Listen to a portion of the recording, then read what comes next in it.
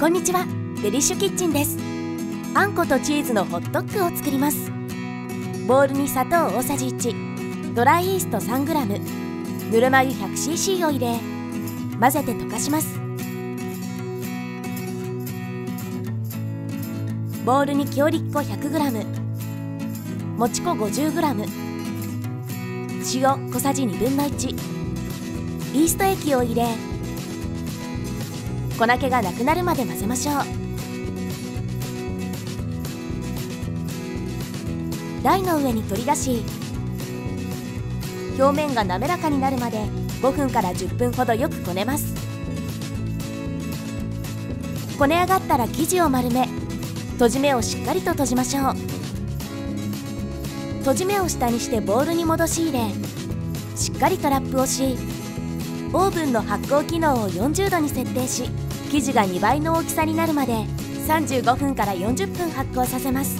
生地を拳で優しく押しつぶすようにガスを抜きボウルから取り出します。4等分にしきれいに丸めましょう。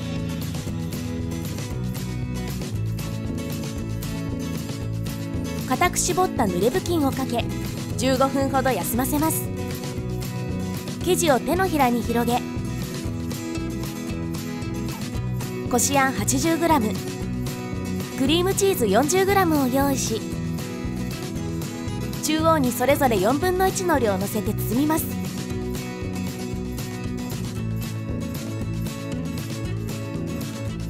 厚さ1センチになるように潰しましょう。同様に計4個作ります。